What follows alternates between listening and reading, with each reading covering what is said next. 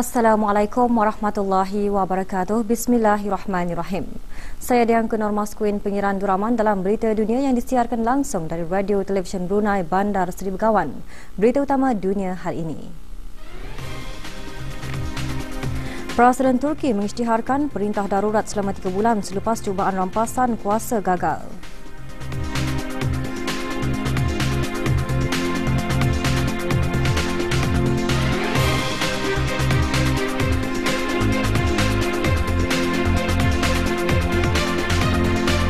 Pasukan tentera ditempatkan di beberapa tempat acara sukan Olimpik yang bermula 5 Ogos ini.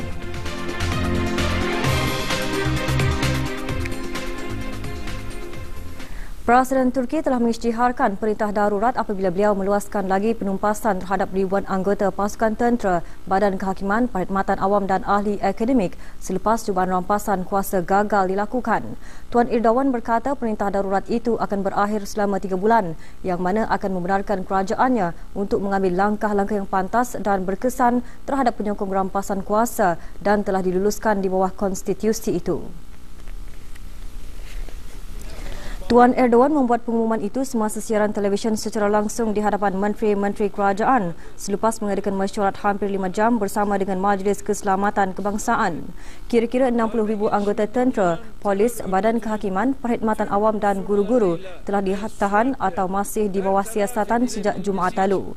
Sebelum mengumumkan perintah darurat, Tuan Idawan berkata menumpaskan mereka yang cuba untuk merampas kuasa masih lagi belum selesai dan beliau percaya negara-negara asing juga turut mungkin terlibat dalam cubaan untuk menggulingkan beliau manakala kira-kira satu per tiga daripada 360 anggota tentera, polis atau mana-mana pegawai yang sedang berkhidmat di Turki telah ditahan sejak berlakunya cubaan rampasan kuasa itu dengan 99 tertuduh masih menunggu perbicaraan dan 14 yang lain masih lagi ditahan. Vatandaşlarımızın hak ve özgürlüklerine yönelik bu tehdidi Pasukan tentera Brazil telah ditempatkan berdekatan Taman Olimpik Bara dan beberapa tempat acara sukan yang lain serta pusat media bagi memastikan keselamatan menyeluruh menjelang sukan Olimpik yang akan bermula pada 5 Ogos ini. Susulan beberapa serangan pengganas di seluruh dunia, Brazil melancarkan langkah-langkah keselamatan yang berbeza untuk meningkatkan usaha-usaha keselamatan termasuk penempatan anggota tentera untuk menjaga taman. Selasa lalu, para pengawal bersama anggota tentera ditempatkan setiap 50 meter di sepanjang kawan tam kawasan Taman Olimpik Bara. Langkah-langkah keselamatan seumpamanya akan diperkukuhkan lagi selepas acara sukan Olimpik bermula.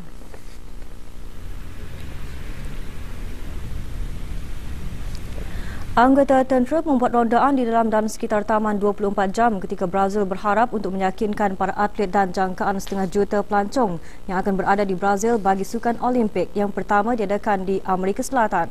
Sebuah kawasan bagi kem sementara juga ditempatkan berhampiran taman yang mana barik-barik telah dibina dan dianggarkan bagi menempatkan ribuan anggota tentera Brazil. Sejumlah 85,000 anggota dari pasukan tentera, polis dan jabatan bomba akan bekerjasama dua kali ganda bilangan anggota keselamatan semasa sukan Olimpik London. Beberapa hari lalu, kerajaan Brazil memperuntukkan tambahan 24 juta dolar bagi ketenteraan negara itu dengan harapan dapat memastikan persekitaran yang selamat dan terjamin semasa acara sukan berprestij itu nanti.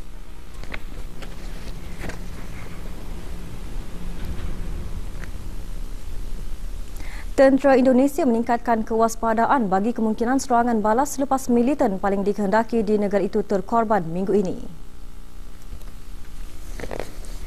Polis mengesahkan Santoso antara individu pertama rakyat Indonesia yang berikrar setia kepada IS terkorban dalam pertempuran dengan pasukan keselamatan di Pulau Sulawesi pada Isnin lalu. Tetapi para pegawai berkata tahap ancaman di negara itu masih tinggi. Ketua Polis di Tengah Sulawesi, Rudi Sufahriadi berkata, operasi keselamatan di Poso, tempat Santoso yang disifatkan pengganas oleh Amerika Syarikat bersembunyi akan diteruskan bagi kemungkinan tindak balas.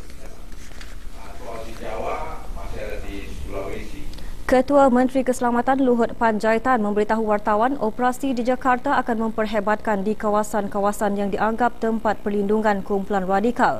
Kira-kira 20 anggota Muhajirin pengikut Santoso masih bersembunyi di dalam hutan di Pulau Sirisi, tempat tentera kerajaan menjalankan operasi keselamatan besar-besaran selasa bertahun-tahun. Sepasukan anggota polis dan tentera juga berjaya menembak mati seorang lelaki yang dipercayai menjadi orang kanan Santoso, satu kejayaan yang digambarkan akan melemahkan kumpulan muhajirin itu. Presiden Joko Widodo tahun lalu meningkatkan usaha untuk menangkap atau membunuh Santoso, mengerahkan anggota tentera untuk membantu ribuan anggota polis melancarkan operasi di dalam hutan tempat ia bersembunyi. Operasi tersebut melibatkan jet pejuang dan kapal perang.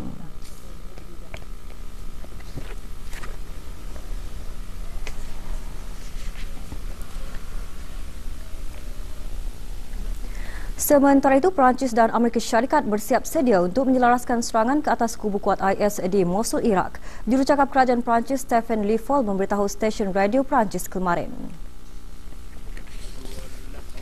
Dalam pada itu, Tuan Stephen Lee Fall berkata beliau tidak dapat mengesahkan laporan dalam siaran akhbar Lee Parisien yang mengatakan dua anggota tentera khas Perancis terkorban di Libya pada Ahad lalu. Tetapi beliau mengesahkan pasukan tentera khas Perancis berada di negara itu. Kementerian Pertahanan Perancis kemudian mengesahkan tiga anggota tentera Perancis terkorban di Libya tetapi tidak memberi keterangan lanjut mengenainya.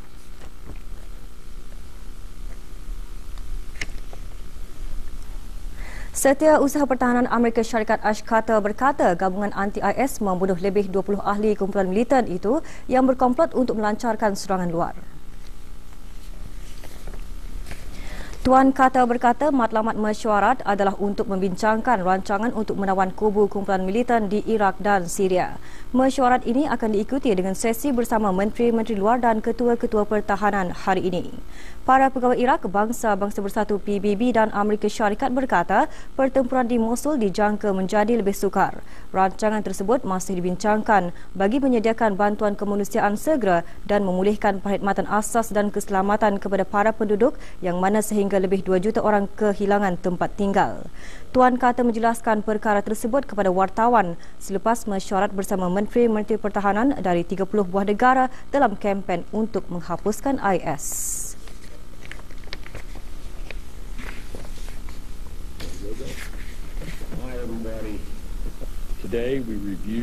Mosul yang ditawan oleh IS daripada tentera Iraq pada Jun 2014 merupakan bandar kedua terbesar Iraq yang majoritinya tempat puak Sunni, Kurdish dan Turki. Meskipun para pegawai Iraq dan Amerika Syarikat belum mengumumkan masa untuk bergerak ke bandar tersebut, seorang diplomat kanan yang berpangkalan di Baghdad kempen di Mosul mungkin bermula pada bulan Oktober selepas rampasan bandar Fallujah dari IS bulan lalu.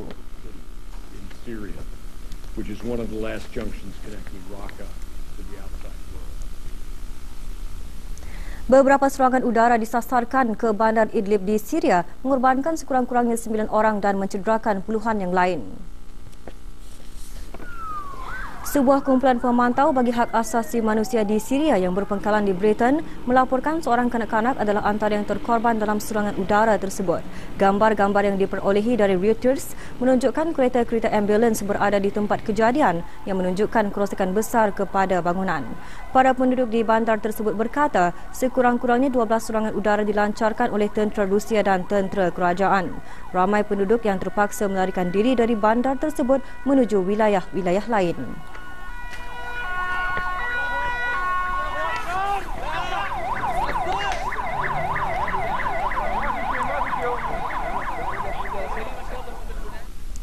Teruskan bersama kami untuk mengikuti berita antarabangsa dalam dunia selepas ini.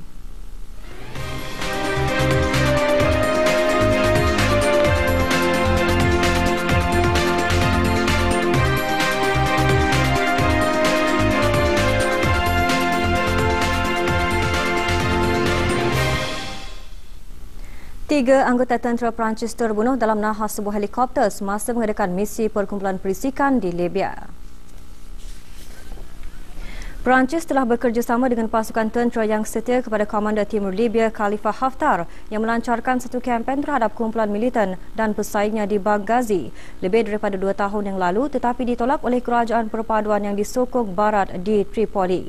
Manakala seorang jurucakap bagi pasukan tentera Haftar, Ahmad Bauzid Al-Masmari berkata, sebuah helikopter yang membawa tiga warga Libya, seorang juruterbang dan dua jurutera, begitu juga tiga pegawai perisik tentera Perancis terhempas pada Ahad lalu di kawasan Magrun, kira-kira 75 km selatan Benghazi. Pada awalnya, pegawai Para pegawai Libya berkata seramai empat orang yang maut dalam nahas itu dan kesemuanya dari warga Libya. Tuan Masmari berkata Perancis telah mengumpulkan anggota perisik untuk menentang pejuang dari Boko Haram.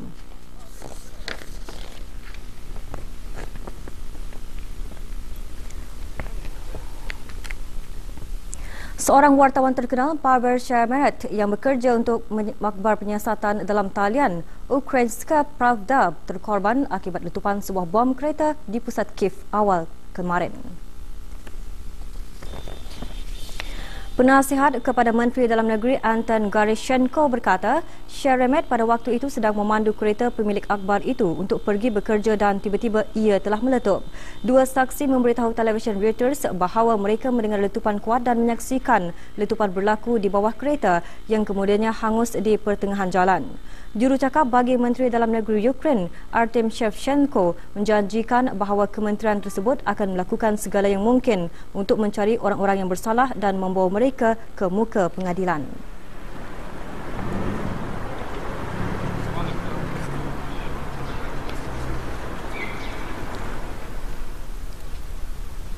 Dalam pada itu, Suruhanjaya Ketenteraan Pusat China mengadakan satu majlis untuk menyambut dua mayat pengaman PBB China dari Sudan Selatan di Zhengzhou, ibu negeri wilayah Henan Tengah China kemarin. Lei Lei dan Yang Xiaopeng terbunuh semasa pertempuran di antara dua puak tentera di Sudan Selatan.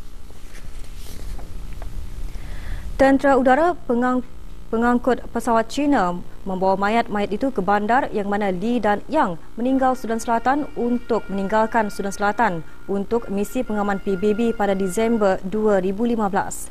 Kopral Li Lei yang berusia 22 tahun dan Sarjan Master Yang Shupeng 33 tahun terbunuh selepas peluru mortar meletupkan kenderaan perisai mereka semasa pertempuran di antara tentera pasukan kerajaan dan pasukan anti kerajaan di Juba, ibu negeri Sudan Selatan pada 10 Julai lalu.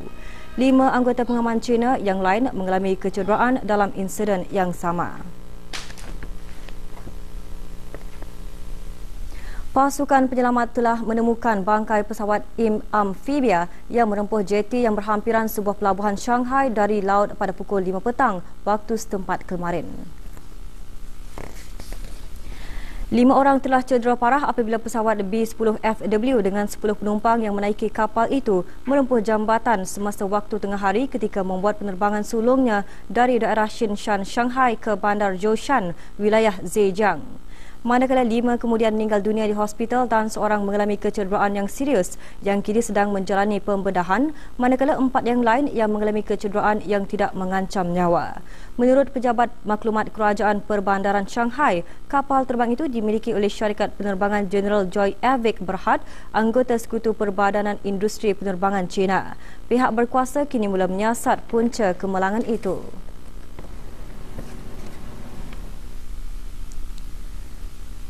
Dalam perkembangan lain, hujan lebat telah melanda kawasan wilayah Henan, Hebei dan Shanji di tengah dan utara China sejak Isnin lalu.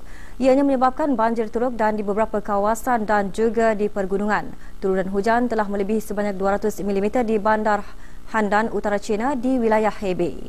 Hujan juga menyebabkan banjir teruk di banyak kawasan dan kesesakan lalu lintas pada lebih daripada tujuh buah jembatan terpaksa ditangguhkan dan beberapa buah bas terpaksa menghentikan perkhidmatannya.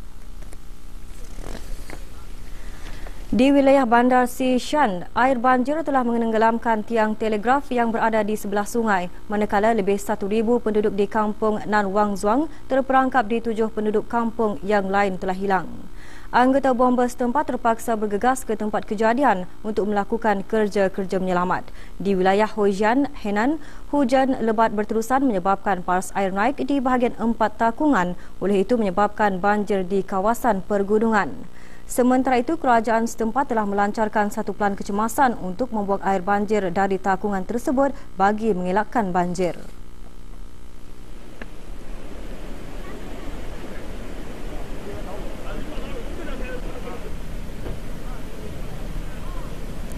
Dalam pada itu di bandar Yijuan, air yang deras mengalir dari pergunungan yang disebabkan oleh hujan lebat menaikkan paras air di Sungai Taki. Seorang penduduk kampung ditemui terperangkap dengan biri-birinya di tengah-tengah jeti sungai itu. Hujan lebat telah banyak membanjiri beberapa buah bandar wilayah Shanji, Utara China termasuk Taiyuan, Shenzhou, Yangquan dan Jincheng. Sistem pengangkutan awam juga teruk dilanda banjir di bandar Taiwan City kerana jalan yang licin.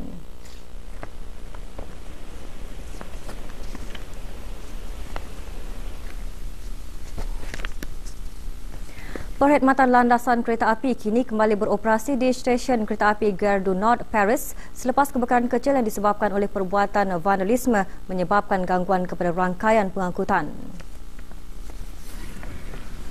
Perkhidmatan Kereta Api Kebangsaan SNCF meneruskan perkhidmatannya lewat selasa lalu selepas kebakaran pada malam itu dikatakan sebagai perbuatan yang berniat jahat yang tidak dapat dijelaskan. Beberapa buah kereta api Eurostar telah dibatalkan pada selasa lalu dan syarikat yang beroperasi merentasi Selat Inggeris berkata perkhidmatan kereta api kemarin terpaksa ditangguhkan atau dibatalkan kerana impak yang kuat itu. Bagaimanapun kereta api ke Brussels, Amsterdam dan destinasi antarabangsa yang lain juga berlepas meninggalkan dari stesen kereta api Gare du Nord.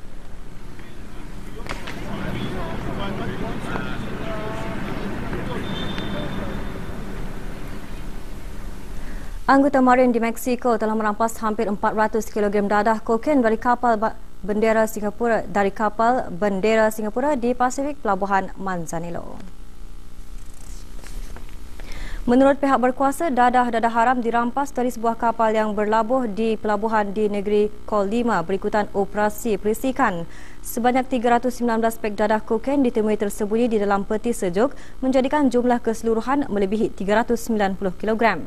Para pegawai melaporkan bahawa dadah itu akan dihantar ke Guatemala dan ia berasal dari Colombia. Manakala rampasan terbaru berlaku seminggu selepas pihak berkuasa merampas pek dadah kokain tersembunyi dalam tong salsa. Meksiko merupakan titik negara yang paling sesuai untuk menghantar dadah-dadah haram ke utara dan ke Eropah.